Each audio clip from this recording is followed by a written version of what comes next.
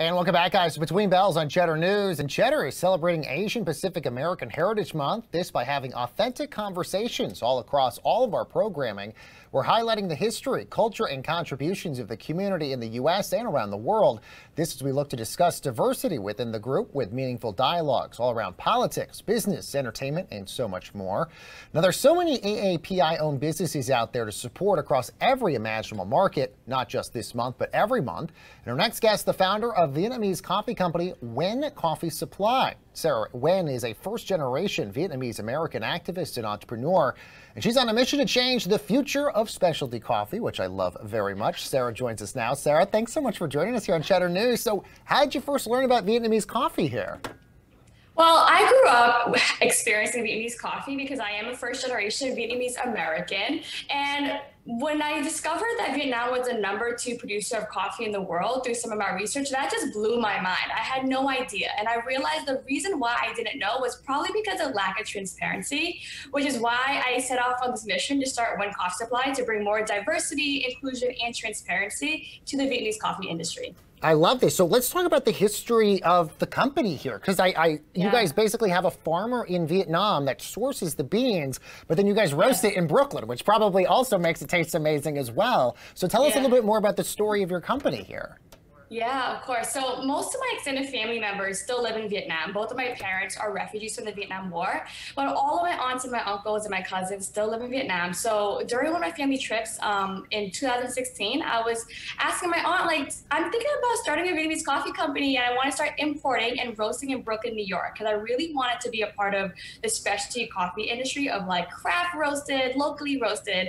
And I was like, do you know anybody who has a farm? And my aunt was like, actually, I do. She said, he's a former colleague and he left the company to take over his family farm. And that's how we started this relationship. So a lot of people, you know, don't know a lot of like the the companies, the specialty companies that are out there. I think a lot of people just mm-hmm. assume, you know, where their coffee's coming from is usually from like a Starbucks or something like that. So how are you really impacting the industry here, not just with your story, but through transparency, mm-hmm. diversity, inclusion, all these really important things here?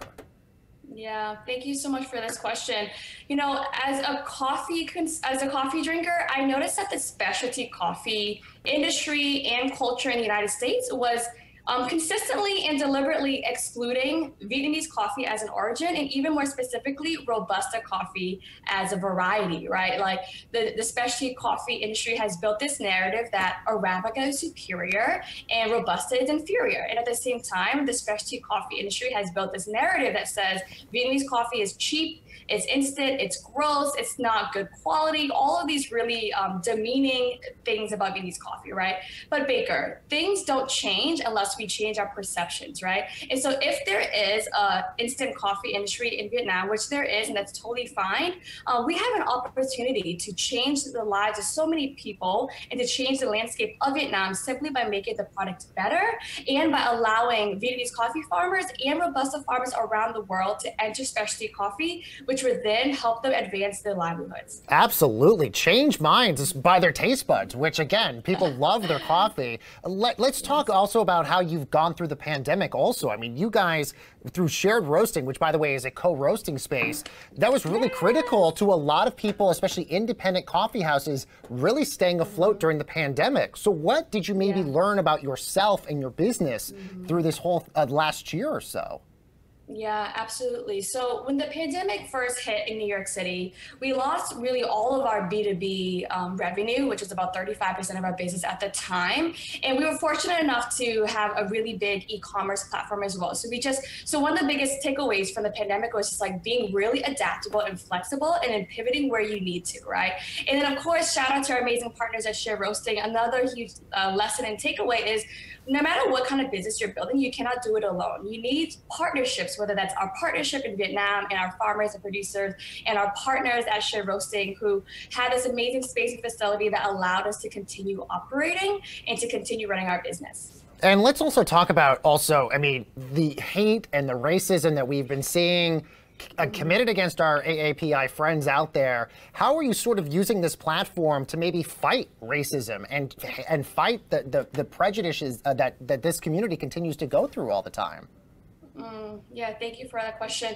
It's interesting because I feel like the way people have been engaging with Vietnamese coffee, such as demeaning Vietnamese coffee, devaluing Vietnamese coffee, and rendering Vietnamese coffee invisible in the coffee industry, is very similar to how people engage with Asian people and Asian lives, right? People dehumanize and devalue Asian folks. Um, you know, Asian Americans have been erased and rendered invisible. So there's a really big connection here in terms of how we engage with Asian American food, culture, and community. So for us as a company, it is our mission to build an equitable and sustainable future through the coffee trade. And at the same time, our goal is to humanize the Asian American experience. And we do that by using our social media platforms, our online communities to tell more diverse and universal stories about the Asian American experience so that we can begin to humanize us and to begin to connect, um, make connections and bridge cultures so we can really work together towards a better future.